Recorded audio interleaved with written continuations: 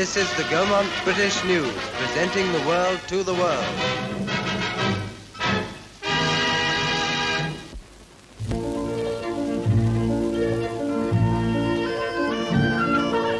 Once again, for Cowes Regatta, the fastest yachts in the world are assembled with the Royal Yacht Victoria and Albert. Strange contrast to the tall racing yachts is this passing merchant ship, though nonetheless picturesque.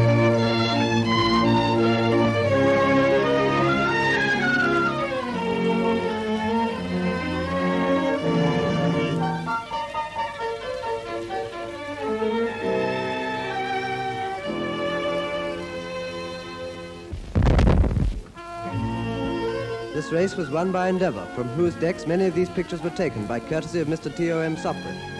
Endeavour also won the King George's Cup, most coveted prize in the yachting world. With Gaumont British News on board, of course, he couldn't help being first.